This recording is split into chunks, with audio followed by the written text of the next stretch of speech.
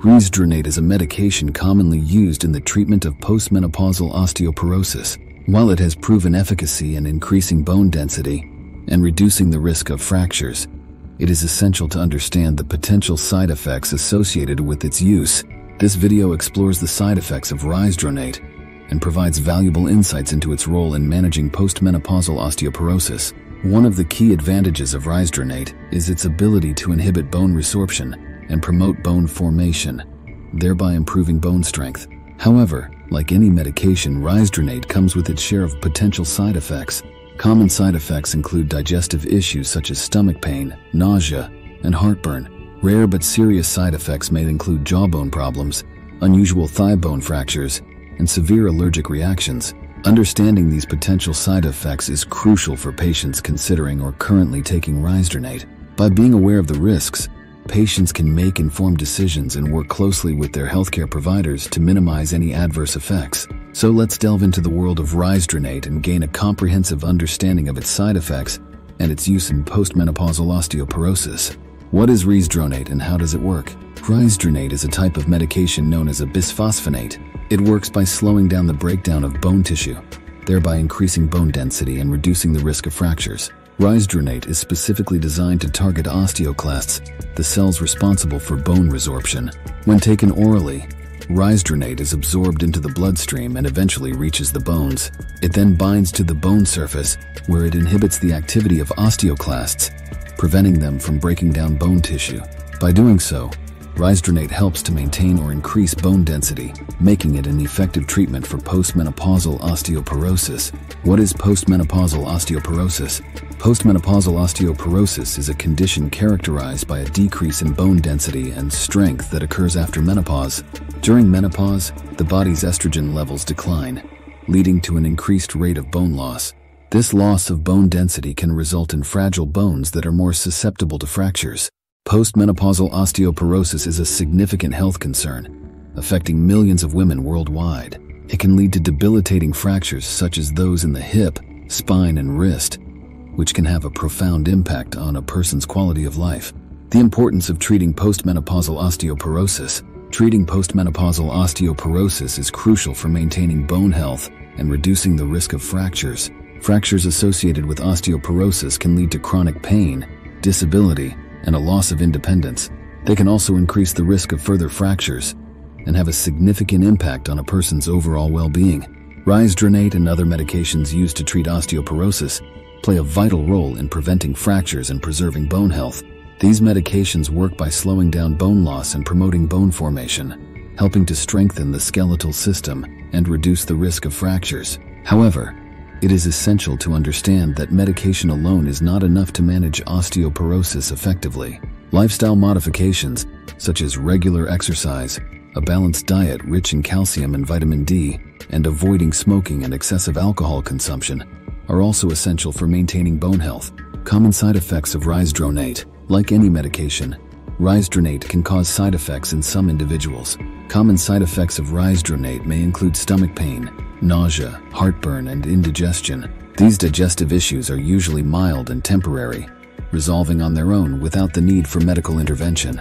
It is recommended to take risedronate with a full glass of water on an empty stomach, at least 30 minutes before the first food or drink of the day. This helps to maximize absorption and reduce the risk of digestive side effects.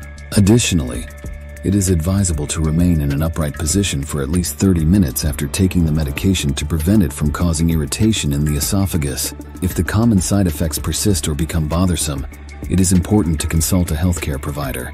They may be able to provide guidance or adjust the dosage to minimize these effects. Serious side effects of risedronate. While rare, there are some serious side effects associated with the use of risedronate. These side effects require immediate medical attention. Examples of serious side effects include jawbone problems, unusual thigh bone fractures, and severe allergic reactions. Jawbone problems, known as osteonecrosis of the jaw, are rare but can occur in individuals taking risedronate. Symptoms may include jaw pain, swelling, or infection. If any of these symptoms occur, it is important to seek prompt medical attention. Unusual fractures of the thigh bone, known as atypical femoral fractures, have also been reported in rare cases with long-term use of risedronate. These fractures may occur without any significant trauma, and can cause pain or discomfort in the thigh or groin area. Any persistent thigh or groin pain should be evaluated by a healthcare provider to rule out the possibility of an atypical femoral fracture. Finally, severe allergic reactions to risedronate are rare but can occur. Signs of a severe allergic reaction may include rash, itching, swelling, severe dizziness, or difficulty breathing. If any of these symptoms occur, immediate medical attention should be sought. Who should not take risedronate? While risedronate is generally safe and effective for most individuals with postmenopausal osteoporosis, there are some contraindications and precautions to consider. Risedronate should not be taken by individuals who have certain conditions, such as low calcium levels, problems swallowing, or severe kidney disease. Additionally, Individuals who are unable to stand or sit upright for at least 30 minutes after taking the medication should not take risedronate. It is important to inform the healthcare provider about any underlying medical conditions, allergies, or medications being taken before starting risedronate.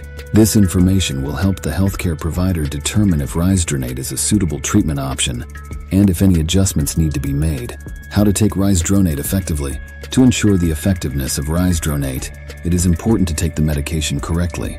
Risedronate is typically taken once a week, usually on the same day each week. It is important to follow the prescribed dosage and schedule provided by the healthcare provider. Risedronate should be taken with a full glass of water on an empty stomach, at least 30 minutes before the first food or drink of the day. It is important not to chew, crush, or suck on the tablet, as this can decrease its effectiveness. Additionally, it is advisable to remain in an upright position for at least 30 minutes after taking the medication to prevent it from causing irritation in the esophagus. If a dose of risedronate is missed, it should be taken the next morning after remembering, unless the next scheduled dose is less than seven days away. In that case, the missed dose should be skipped, and the regular schedule should be resumed. Tips for managing side effects of risedronate. While many individuals tolerate risedronate well, some may experience side effects, here are some tips for managing the common side effects of risedronate. Stomach pain, nausea, and heartburn. Taking risedronate with a full glass of water and remaining upright for at least 30 minutes afterward can help reduce the risk of digestive side effects. If these symptoms persist, it may be helpful to take an antacid or speak to a healthcare provider for further guidance. Difficulty swallowing. If swallowing becomes challenging while taking risedronate, it is important to consult a healthcare provider. They may be able to suggest alternative formulations or treatments that are easier to swallow. Other digestive issues. If other digestive issues, such as diarrhea or constipation, occur, it is important to stay hydrated and consume a balanced diet.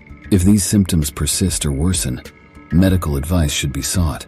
Alternative treatments for postmenopausal osteoporosis. While risedronate is a commonly prescribed medication for postmenopausal osteoporosis, there are alternative treatments available. These may include other bisphosphonates, such as alendronate or ibandronate, or medications from different drug classes, such as denosumab or teriparatide. The choice of treatment depends on individual factors, such as medical history, response to previous treatments, and preferences. It is important to discuss the available options with a healthcare provider to determine the most suitable treatment approach. Additionally, Lifestyle modifications play a significant role in managing postmenopausal osteoporosis. Regular weight-bearing exercises such as walking or strength training can help improve bone density and reduce the risk of fractures. A diet rich in calcium and vitamin D is also essential for maintaining bone health. Conclusion Risedronate is an effective medication for the treatment of postmenopausal osteoporosis. While it can significantly increase bone density and reduce the risk of fractures, it is crucial to understand the potential side effects associated with its use.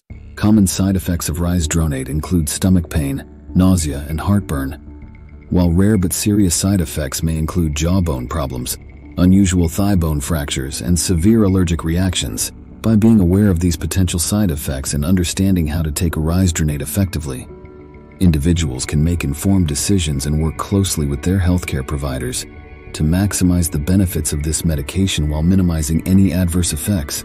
Additionally, it is important to consider lifestyle modifications and discuss alternative treatment options with a healthcare provider to ensure comprehensive management of postmenopausal osteoporosis.